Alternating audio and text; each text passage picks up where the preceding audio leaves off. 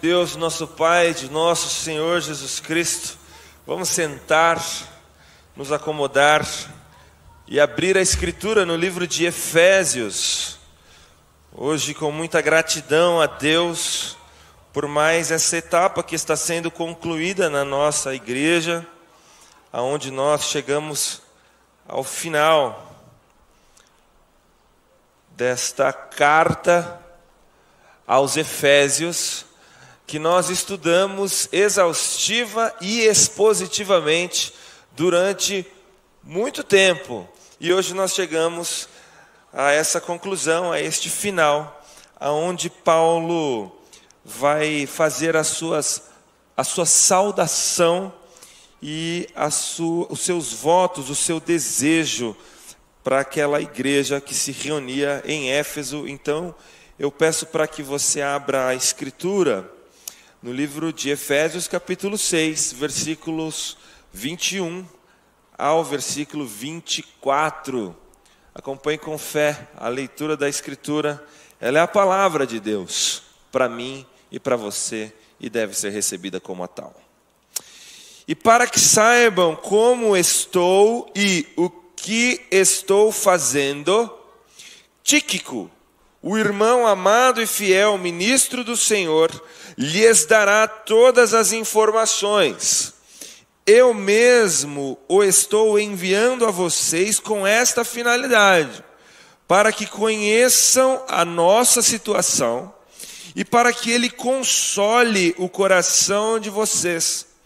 Paz seja com os irmãos e amor com fé da parte de Deus Pai e do Senhor Jesus Cristo. A graça esteja com todos os que amam sinceramente o nosso Senhor Jesus Cristo. Vamos orar mais uma vez. Deus, nosso Pai bendito, nós pedimos que o Senhor ilumine as nossas mentes e os nossos corações, para que nós não sejamos apenas ouvintes, mas praticantes da palavra. Peço, Senhor, que o Senhor infunda graça neste débil pregador, para que eu comunique com clareza e destreza a mensagem da tua palavra. Peço também, Senhor, que o Senhor ilumine os ouvintes que estão aqui presentes, para que o teu Santo Espírito, assim incandescendo as palavras que são proferidas, sejam como adagas fincadas no coração, que traga conforto, consolo e conserto para a tua igreja. Que seja assim, no nome de Jesus Cristo, bendito Filho de Deus, por meio de quem somos aceitos na tua presença. Amém e amém. Meus irmãos, nós terminamos hoje a, a, carta aos Efésios com muita gratidão no coração, e vale lembrar que esta é uma prática muito antiga, desde o início do movimento reformado, é comum isso que nós chamamos de lectio contínua, ou seja, pregações sequenciais de textos inteiros da Escritura, de livros inteiros da Escritura. Porque a reforma entendeu que não bastava apenas pregar sobre a Bíblia, mas que nós deveríamos pregar a Bíblia. Isso tem várias implicações e significa muitas coisas, dentre elas, por exemplo, que a dieta para nutrir o seu povo é ditada pelo próprio Deus. Então, essa é uma contribuição enorme do movimento reformado. Porque senão ficaria em subjúdice às circunstâncias e ao bem-querer do pregador. Quando está chegando perto das eleições, a gente pensa assim: ah, vou pregar sobre eleições, afinal de contas eu quero sempre estar atual. Aí chega perto do dia das mães, a gente prega sobre o dia das mães, perto do dia dos pais, dia dos pais, perto do dia das crianças, dia das crianças, e assim consecutivamente. Os reformados entenderam que nós não podíamos manipular a dieta, porque assim como um nutricionista hábil, Deus iria, através da sua palavra, ele iria guiar o seu povo. Calvino disse que a palavra de Deus é o cetro através do qual o grande rei reina sobre o seu reino a igreja. E é por isso que nós pregamos textos inteiros aqui na IP Alfa e nós não pulamos parte alguma, inclusive essa que parece-nos aparentemente ter pouca substância para um sermão. Quando você vai ler comentários bíblicos a respeito do livro de Efésios, você tem uns calhamaços assim dessa grossura. Mas aí o texto vai chegando até o versículo 20 do capítulo 6, densidade teológica e prática, ortodoxia e ortopraxia andando juntos. Quando chega nesses últimos versículos, tem pouquíssimas considerações. Às vezes um capítulo pequeno sobre estes versos que aparentemente têm poucas informações. Mas o próprio apóstolo Paulo diz para nós na carta a Timóteo que toda escritura é inspirada por Deus, deve ser recebido como tal, e útil para repreensão, ensino, e nós, exortação na justiça. Portanto, esse texto, esse pequeno trecho, com aparentes poucas informações, tem grandes lições para minha e para a sua vida. E hoje nós elencaremos apenas três delas. Eu quero dizer para vocês hoje apenas três coisas. A primeira delas é que o reino de Deus é um reino de, de, de amigos, é um reino de relacionamentos estáveis e, e duradouros. A segunda coisa que eu quero dizer para vocês é que o reino de Deus é feito de pessoas anônimas, mas que carregam consigo um grande tesouro. E a terceira coisa que eu quero falar para vocês a respeito desse texto hoje é que quando uma comunidade vive da forma que o Evangelho prevê, graça, amor, fé e paz são realidades tanto nos indivíduos quanto na nossa na nossa manifestação coletiva da nossa crença. Então são apenas essas três ideias. A primeira delas é: o reino de Deus é um reino de amigos. É fato que essa frase ficou popularizada na boca de vários pastores e teólogos de diferentes movimentos por aí, mas ela foi dita primeiro por um teólogo holandês chamado Hans Burke. Quando ele diz que o reino de Deus é um reino de amigos, ele quer dizer que o reino de Deus é um reino de relacionamentos sólidos e saudáveis. Bom, vamos ao texto. O texto começa dizendo: para quê? Ou seja, é uma finalidade. Paulo agora está encerrando a sua carta, tal como quando ele iniciou a sua carta fazendo uma saudação, ele agora faz uma saudação também, mas essa saudação tem uma finalidade específica. Essa, essa saudação, ela tem um resultado que ela está prevendo, para que saibam como eu estou e o que eu estou fazendo. Tíquico, o irmão amado e fiel ministro do Senhor, lhe dará, lhes dará todas as informações. Eu estou enviando a vocês com essa finalidade para que conheçam a nossa situação e para que Ele console o coração de vocês. É uma finalidade só que tem um viés duplo. Veja, Paulo, ele quer compartilhar a própria situação com aqueles irmãos e ele quer também consolar aqueles irmãos. Paulo quer compartilhar e receber. Paulo quer abrir o coração e Paulo também quer entender a situação.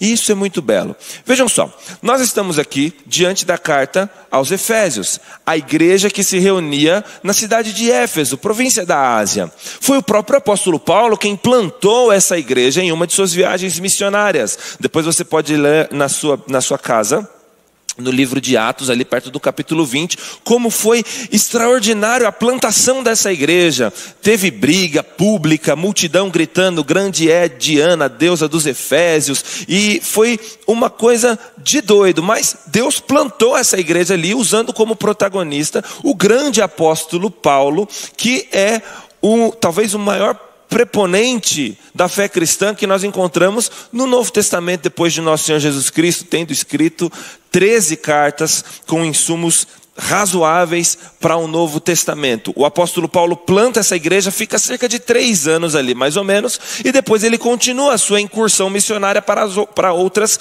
cidades. Muitos anos depois, Paulo escreve essa carta depois de ter recebido notícias daquele povo. E quando Paulo escreve essa carta, Paulo ele ele deseja dar informações a respeito da sua situação. Veja, meus irmãos, aqui há um aspecto passional muito grande. O grande apóstolo Paulo, que havia plantado uma igreja, agora está dando relatório para esta igreja, está mostrando o seu coração para esta igreja, deixando-se ser amado e cuidado por ela, e também amando e cuidando ela através de Tíquico, que foi enviado para consolar o coração daquela gente. Porque o reino de Deus é um reino de amizades duradouras. Na Igreja Presbiteriana do Brasil, infelizmente, nós temos um fenômeno onde pastores ficam pouco tempo em igrejas cinco anos em uma, três anos em outra. Graças a Deus, na IP Alfa não é assim. Eu sou pastor auxiliar aqui já há seis anos e o pastor Hilder já está aí há muito tempo, né? 16, 17, por aí, né, Rose? Cadê a Rose? Quantos anos? 20 anos, 20 anos. Glória a Deus. Mas na igreja presbiteriana do Brasil, infelizmente, nos rincões do Brasil, é muito comum troca de pastores. E o que é, o que é mais infeliz nessa história toda é que às vezes pastores saem de comunidades e não mantêm lastro, não mantêm história, não mantêm carinho, não mantêm relações. Aparentemente era uma relação profissional. Não é assim com o apóstolo Paulo. Paulo ama aqueles irmãos e Paulo é amado por aqueles irmãos. E vejam, Paulo aqui está preso, meus irmãos. Paulo, quando escreve a carta aos Efésios, ele está preso em Roma, aguardando julgamento. Portanto, muitas alegações eram feitas naquela época na cidade de Éfeso e em outras cidades onde Paulo havia pregado. Alegações do tipo assim: pessoas pagãs dizendo: Oh, vocês estão aí seguindo aquele cara que veio anos atrás aqui pregar o evangelho, é um contraventor, esse cara está preso em Roma. Um argumento ad hominem para tentar desmoralizar o ministério de Paulo. E aí Paulo escreve para que aqueles irmãos fossem consolados. Não, não, não. Eu estou preso pelo mesmo motivo, pela mesma fé que vocês professam no Senhor Jesus Cristo. E Paulo vai dar notícias de como ele está. Curiosamente, Paulo poderia ter escrito essas notícias aqui na epístola, mas não, ele deseja enviar uma pessoa, ele deseja ser mais intencional. Sabe aquela coisa quando a gente fala assim: não, não vou falar por mensagem, não, vou falar pessoalmente, porque faz mais sentido? Paulo está preso, ele não pode fazê-lo, mas ele envia um representante pessoalmente para consolar o coração dos irmãos. Ele não quer uma relação fria, Paulo quer uma relação humana com as pessoas. E essa é a nossa primeira lição. Se nós quisermos ser uma comunidade saudável, nós precisamos intencionalmente nutrir relações duradouras e estáveis. Meus irmãos, a amizade cristã, ela é intencional. Ela não é uma coisa orgânica. Assim como na escola, por exemplo, a gente tem algumas coisas em comum com o coleguinha do lado, e aí a gente começa a conversar muito, a gente começa a ficar juntos no recreio, a gente começa a ir um na casa do outro jogar videogame e a gente chama de amigo. Ah, é meu amigo. E aí depois que acaba o ano letivo e aí muda a turma, parece que a gente se esquece também. Ou alguns até duram algum tempo. Mas a coisa aconteceu de forma orgânica. Não, a amizade cristã é intencional. É um esforço que nós coletivamente fazemos. E mais para frente a gente vai entender melhor isso. É um esforço que nós fazemos coletivamente para conhecermos uns aos outros, darmos relatório da vida uns dos outros. Mas, gente, não é ministério da fofoca aqui, tá? Paulo está dizendo assim: ó, eu quero que vocês saibam como eu estou, quero saber como vocês estão, mas não é ministério da fofoca. Tem irmãos que gostam de ouvir a vida do outro para ter notícia para conversar com outros. Não é isso. É um interesse genuíno em como o outro está. Veja, e aqui há uma razão muito clara para isso.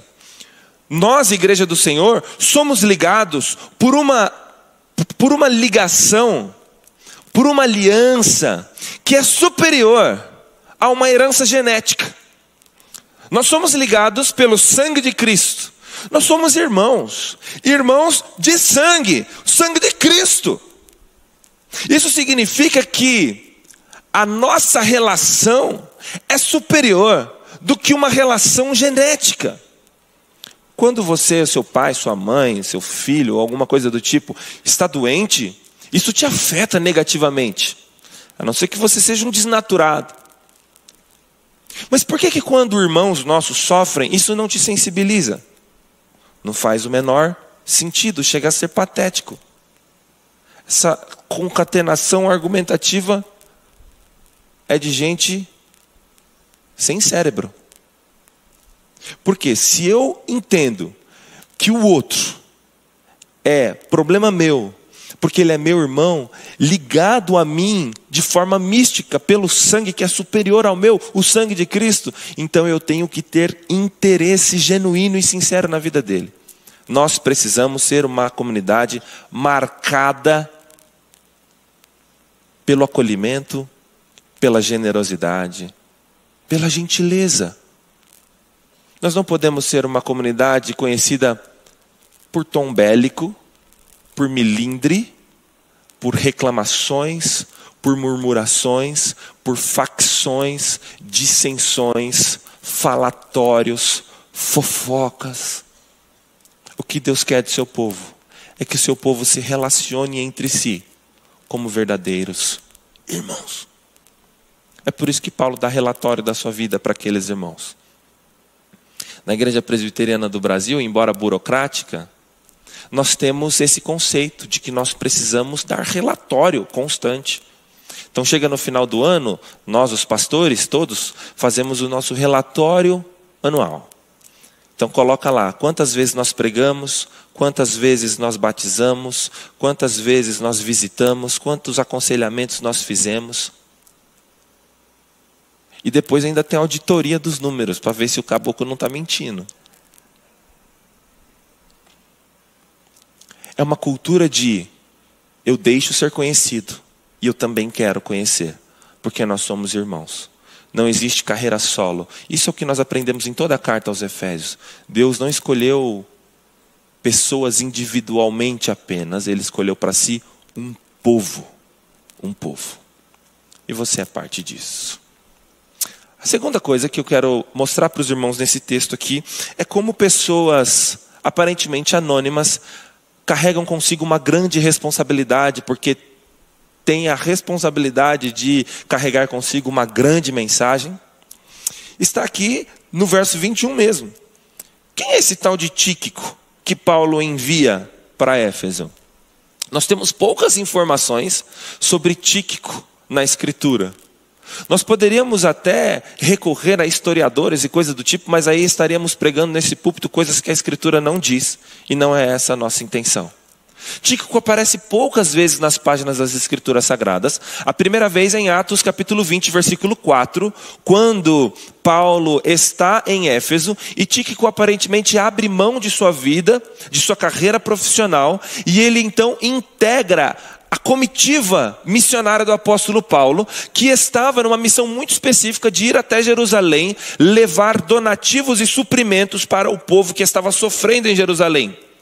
Tíquico diz assim: Paulo, eu vou com você.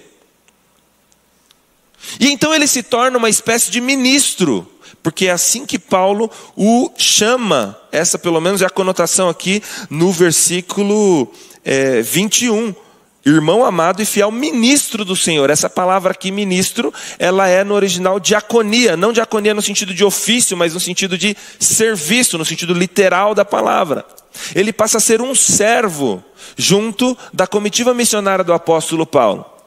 Quando você lê a carta de Paulo a Tito, Paulo diz que Paulo havia mandado Tito para Creta, para que ele fosse uma espécie de bispo daquela região, para que ele é, não apenas pregasse o evangelho, mas também ah, de forma, de forma bem prática, ele construísse ah, uma liderança, um presbiterato naquela cidade. Você lê lá na carta de Tito, Paulo dizendo das suas intenções de remanejar Tito para outra igreja, para outra região, e ele diz que quem ele enviaria para Creta? Tíquico. E aí, quando você chega na segunda carta ao Timóteo, que Paulo está lamentando o fato de estar sozinho, apenas Lucas está com ele. Ele fala, por exemplo, sobre Demas que o abandonou, mas foi por um motivo infeliz. Ele diz: Demas voltou para trás, ele amou o presente século e ele abandonou a fé. Mas quando ele fala de Tíquico, ele fala: Tíquico não está aqui porque eu o enviei a Éfeso. Tíquico foi enviado a Éfeso com uma missão muito importante do apóstolo Paulo: consolar os irmãos, porque Paulo tinha interesse naquela gente, como nós já dizemos. Ele foi lá para dar notícias do apóstolo Paulo, o grande apóstolo Paulo, qual era o seu estado de saúde, qual era a sua situação, quais eram as suas privações. E mais, muito provavelmente Tíquico foi o portador da carta. Ele foi levar a carta. Meus irmãos, você tem noção de que você está lendo um registro de um homem que estava preso em Roma, dois mil anos depois, na página da sua mão, na sua língua, porque um sujeito que você até há cinco minutos atrás nem sabia que existia, pegou essa carta e com todo o cuidado e diligência do mundo, levou até a comunidade de Éfeso e entregou na mão do pastor de Éfeso, que a essa altura aqui provavelmente era Timóteo. O trabalho de um homem anônimo fez com que este escrito chegasse na minha e na sua mão. Meus irmãos, tem quem toca o piano, mas tem quem carrega o piano. Tem quem escreveu um livro da Bíblia, mas o livro da Bíblia, se não fosse pela diligência, o cuidado, a humildade, a destreza, a habilidade e o compromisso de um homem anônimo, ela não teria chegado aos seus destinatários e possivelmente não teria chegado até a nós. Às vezes a gente pensa que a obra de Deus é feita só pelos performáticos, por quem está aqui em cima, cantando, pregando, fazendo alguma coisa. Mas a obra de Deus, ela é feita por um sem número de pessoas anônimas, que gastam as suas vidas para compartilhar o Evangelho em seus trabalhos, em suas atividades cotidianas, em suas rotinas. Eu e você somos convidados para ser como Tíquico, provavelmente você não vai ser usado por Deus como Paulo foi. Você não vai escrever jamais um livro da Bíblia. Mas você pode ser usado por Deus como o Tíquico, que vai levar a mensagem da Bíblia a muitos corações. E a terceira consideração que nós temos para fazer essa noite é esse desejo, esse voto que Paulo faz. Essa bênção que ele impetra sobre a igreja aos Efésios. Paz seja com os irmãos. Curiosamente, paz era um cumprimento utilizado comumente entre os judeus, shalom. E graça era um cumprimento geralmente utilizado entre os gregos gentios. Quando Paulo inicia sua carta, ele usa graça e paz. Quando ele termina sua carta agora, ele usa paz e graça, como quem fechando um ciclo, concluindo uma obra, aonde foi explicado uma das lições centrais desse livro é de que em Cristo pessoas diferentes são feitas um só, um só corpo, um só espírito, um só batismo, um só Senhor. Não é isso que Paulo diz nessa carta? Não há grego, não há judeu, não há mulher, não há homem, não há escravo, não há livre, não há bárbaro, nem cita. Todos são um em Cristo. E aí Paulo faz isso de forma muito didática, usando cumprimentos das duas etnias diferentes. E de forma espelhada. O texto começa em Efésios 1:1 graça e paz. E agora ele vai terminar com paz e graça. Mas é curioso porque ele qualifica essa paz. Paz sejam com os irmãos e amor com fé. Meus irmãos, paz primeiro não é a ausência de conflitos na escritura sagrada. Paz é uma situação, é um estado do coração daqueles que agora, diante de Deus, a sua relação com Deus é mediada por Cristo Jesus. Logo, Deus não é mais o nosso inimigo, porque sem Cristo, Deus é o nosso inimigo, nós estamos em rebelião contra Ele. Mas com Cristo, Deus é propício a nós, Ele está do nosso lado, pelo que Cristo fez, não pelo que nós realizamos. Esse estado de espírito interno, a Escritura chama de paz. É curioso, porque mesmo os seres humanos que, inclusive, chegam a cogitar a inexistência de Deus, eles têm reverberações fálidas em seu coração, mas têm na sua consciência quando deitam a cabeça no travesseiro, um peso, resposta, perguntas que não têm respostas aparentemente. Vazio, uma vida vazia de significado, de sentido. Por que, que eu faço o que eu faço se eu vou morrer? Agora, aqueles que são de Cristo, eles têm paz no coração, mesmo em situações difíceis, mesmo em situações e circunstâncias adversas, inexplicavelmente uma paz encharca o nosso coração. E quando nós estamos em paz com Deus, porque recebemos essa paz, veja, da parte de Deus, Pai de nosso Senhor Jesus Cristo, quando somos alvos dessa paz, não somos apenas receptáculos da paz, mas também difusores da paz. Quem está com, em paz com Deus, está em paz com seus irmãos. É incoerente a ideia de eu ser amigo de Deus, justificado, é isso que Romanos 5 diz. Tendo sido depois justificados pela fé, tendes paz com Deus por meio de Cristo Jesus. Mas, concomitantemente, eu ser brigado com o meu irmão. Então eu não entendi essa paz que me alcançou. Ou ela não me alcançou. Por isso que Paulo diz que essa paz ela tem implicações práticas. Amor, amor com fé. É muito curiosa essa expressão. Amor com fé.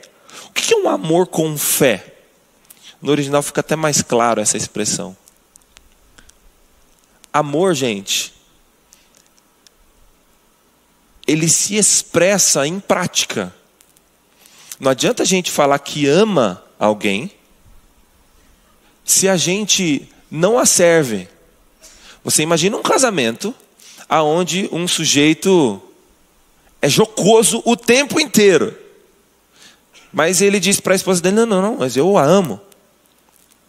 Essa mulher acreditará que ele a ama, a despeito da sua jocosidade, da sua, do, do, da, sua, do, da sua forma belicosa de ser? Ou, se um sujeito é gentil, carinhoso, se entrega de fato ao outro, ainda que ele não diga eu te amo, é possível saborear o amor. Porque o amor tem muito mais a ver com atos do que com sentimentos. Sentimentos são confusos e instáveis. Atos são concretos. Paulo está dizendo que nós devemos viver numa realidade de amor com fé. Significa que quando o outro não me dá motivos para amá-lo, eu amo ele por fé. Sabe quando você tem um funcionário ou um amigo, alguma coisa que você já investiu tanto na vida dele, Investiu, investiu, investiu, e parece que ele não sai do lugar. Chega num momento que você fala assim: ah, desisti dessa pessoa. Essa pessoa não tem jeito, tudo que eu tinha para fazer eu já fiz, mas não adianta, ela não vai nem para frente nem para trás, não, isso não tem jeito. Na igreja não existe isso, ou pelo menos não deveria existir. Na igreja a gente ama não porque o outro fornece qualidades amáveis. A gente ama porque a gente tem fé em Jesus Cristo. E aí, quando as qualidades do outro não forem suficientes para nós o amarmos, a gente o ama, porque primeiro Cristo nos amou também, primeiro, quando nós não éramos nada, absolutamente pecadores, é isso que diz o livro de Romanos. E segundo, não apenas ele nos amou, como ele também nos convida a amar uns aos outros. Nisto conhecerão que sois meus discípulos quando vocês souberem a teologia sistemática inteira do Berkoff de cor. Não. Nisso saberão que sois meus discípulos quando vocês decorarem o catecismo maior de Westminster. Não. Nisto saberão que sois meus discípulos quando o canal do YouTube chegar a um milhão de seguidores. É. Nisto saberão que sois meus discípulos quando amarem uns aos outros. A gente está correndo atrás de quê como igreja? Eu quero correr atrás disso. Eu quero correr atrás de ser um ambiente acolhedor, gentil, carinhoso. Um ambiente onde as pessoas se sintam aceitas e amadas. Um ambiente que ama e acolhe tanto, que confronta, exorta, chama atenção, mas não há desconfiança. Esse era o desejo de Paulo, esse é o meu desejo. É por isso que quando a gente vai desejar os nossos votos para a sua semana, geralmente a gente se utiliza uma bênção que o apóstolo utilizou, que é a graça e a misericórdia de Deus, nosso Pai, de nosso Senhor Jesus Cristo. Não é isso? Todos os dias. Eu gosto de usar uma lá do Antigo Testamento, que o Senhor te ilumine e te guarde, que ele resplandeça sobre ti o seu rosto. Não é assim? Esse é um desejo, uma oração e mais do que isso, uma impetração, uma invocação da bênção de Deus para a nossa comunidade. E se há algo que nós devemos buscar como indivíduos, é que a nossa comunidade seja uma comunidade de amor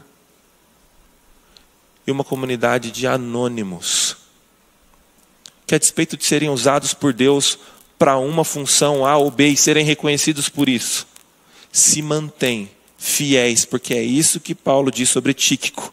Ele é um ministro do Senhor, amado irmão e fiel. Versículo 21. Não adianta ser famoso e não pregar a Bíblia. Não adianta ter números e não pregar a verdade. O que o Senhor requer de nós é fidelidade. E Paulo termina no versículo 24: A graça esteja com todos os que amam sinceramente o nosso Senhor Jesus. Muito bonito eu chegar aqui e dizer: graça de Jesus sobre a sua vida. O Senhor vai superabundar a graça dele na sua vida. A gente só esqueceu que há aqui uma expressão qualitativa sine qua non para a graça. A graça não é para todos. A graça está restrita e circunscrita a um grupo específico de pessoas. Aqueles que amam. Mas não é apenas amar Jesus Cristo. Aqueles que amam sinceramente Jesus Cristo. Eu termino essa longa jornada no livro de Efésios perguntando: Você ama Jesus Cristo? Porque se sim, se você ama Jesus Cristo, você é alvo da graça, do amor, da paz de Deus, e não apenas alvo, mas também difusor da graça, do amor e da paz. Pela última vez, nós usaremos essa expressão para terminar um sermão. Quem você pensa que é? Eu sou um ministro fiel do Evangelho, um irmão amado, um difusor da graça, da paz e do amor. Essa é a resposta que tem que estar nos nossos lábios. Vamos orar. Deus, nosso Pai bendito, nós te louvamos pela tua palavra poderosa, que foi pregada durante longos meses aqui neste púlpito. Que ela instrua o seu povo e que ela nutra e fortaleça o seu povo. Que seja assim, para a tua glória, no nome de Cristo Jesus, o bendito Filho de Deus. E agora, meus irmãos, que o Senhor teu Deus te ilumine e te guarde, que Ele resplandeça o seu rosto sobre ti, que Ele tenha misericórdia de ti e lhe dê a sua paz. No nome do Pai, do Filho e do Espírito Santo de Deus. Amém. Uma boa noite a todos.